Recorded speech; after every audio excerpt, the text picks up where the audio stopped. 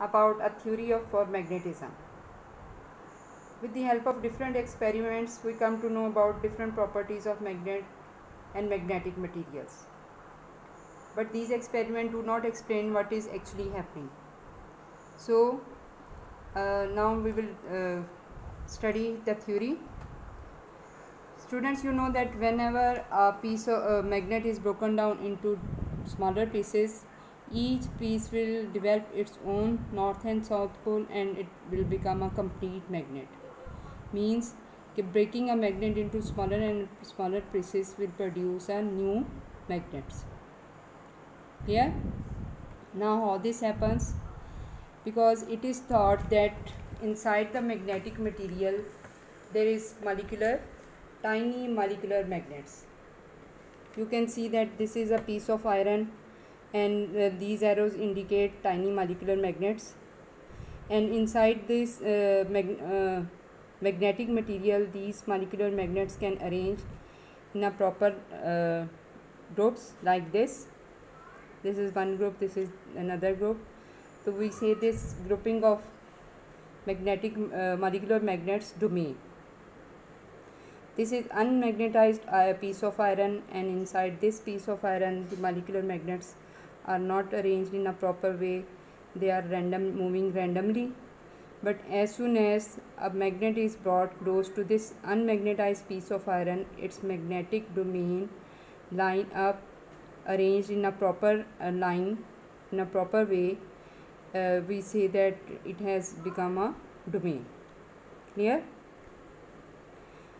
In this uh, piece it means that magnetic field of this magnet causes the domain to line up in a proper way.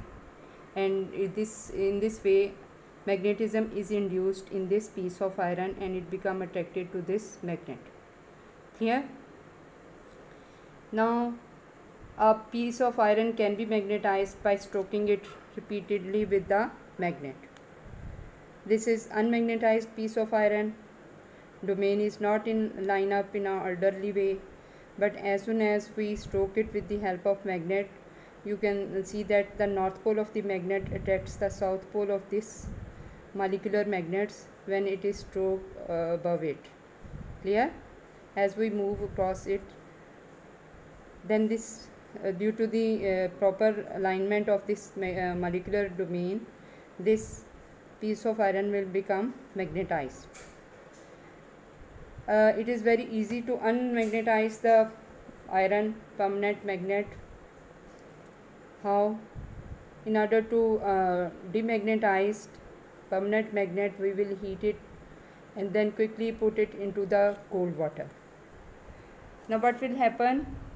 The heat energy will uh, cause the molecules molecular magnets domain to move faster and this will disturb their alignment and uh, uh, due to the unalignment this molecular magnet will become unmagnetized and magnetism will be lost because domain has become unaligned.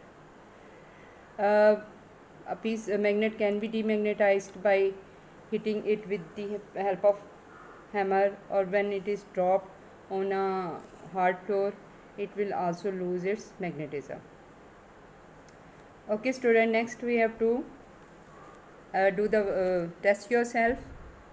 Question number 1 a